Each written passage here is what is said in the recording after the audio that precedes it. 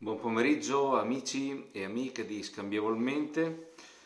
Ci avviciniamo alla prima live dell'anno, domani sera, ore 21, l'ultima fatica di Vilma Coero Borga, scrittrice stimata su Scambievolmente, scrittrice nota su Scambievolmente, scrittrice apprezzata e conosciuta su Scambievolmente.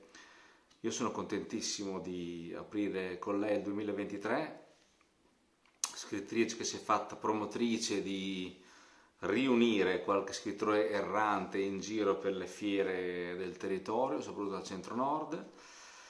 E Vilma rompe un po' gli schemi col passato, questo libro che si chiama Rinaldo e il mistero del calice avvelenato. L'editore è PAV, PAV Edizioni rompe gli schemi perché soprattutto è un libro mh, mm, per tutti, veramente, per i lettori dai 6 ai 99 anni. È un libro che ha già vinto un premio, premio Luigi Pirandello, Accademia Internazionale, il Convivio, diploma d'onore segnalazione di merito narrativa inedita 2022. Soprattutto è un libro ad alta leggibilità perché è un libro eh, scritto, formattato, organizzato e composto per essere letto anche da chi è affetto da dislessia. Vi leggo la quarta di copertina. Eh, dice in un piccolo paese a pochi chilometri da Pavia, Diego e Francesca scoprono le vicende e i segreti del castello del luogo in cui abitano entrano e vengono sopraffatti dalla curiosità grazie a un bibliotecario che li guida all'interno dell'edificio che oggi è una villa. Non appena l'uomo dischiude il cancello, per i due compagni di scuola si apre un percorso nel tempo, attraverso il quale scoprono i segreti nascosti tra le mura di quella dimora e persino la storia sentimentale del cavaliere Rinaldo, figlio un po' scapestrato del proprietario del maniero, che dovrà proteggere l'amore per Isabella da un malvagio e insospettabile personaggio.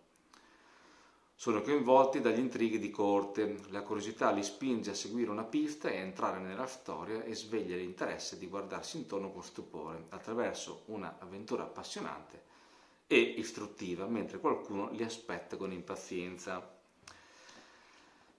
Ah, è un libro che eh, nasce mh, diciamo come libro per ragazzi, ma non si rivolge solamente ai ragazzi, ma anche e soprattutto agli adulti che possono imparare tanto, soprattutto ehm, fatti, fatti storici. Un libro con delle bellissime illustrazioni inedite. È un libro che man mano si va avanti nella lettura incolla assolutamente lì e viene voglia di, di andare fino in fondo, il libro che si legge molto bene, è un libro di inclusione, quindi io vi aspetto domani, tra l'altro il libro ha la ha prefazione di Marco Picasso dove parla, e domani ne parleremo, dove parla di quanto è importante per appassionarci alla storia di ascoltare e leggere la storia della storia, perché solo attraverso la storia della storia probabilmente riusciamo a appassionarci invece che studiare date, luoghi e accadimenti.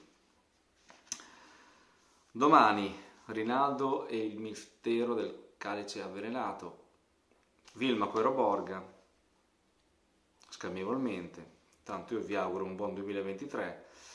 Come ho scritto scaldiamo i motori e sarà una serata dove parleremo di tantissime cose e quindi vi invito a stare con noi la sera precedente all'Epifania. Buon proseguimento e a domani.